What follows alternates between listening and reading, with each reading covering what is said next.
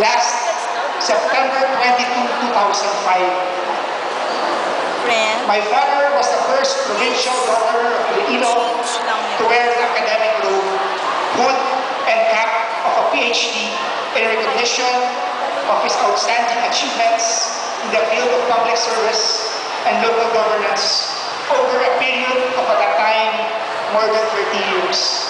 Now, every time nakatawa ako na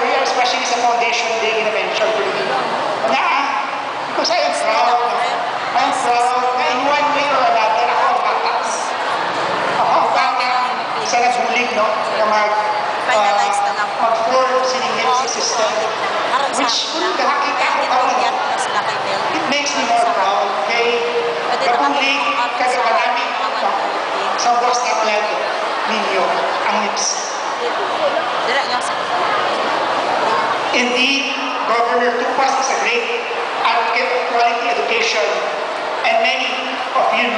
is considered the father of the Northern Iloilo Polytechnic State College. Although he came from a poor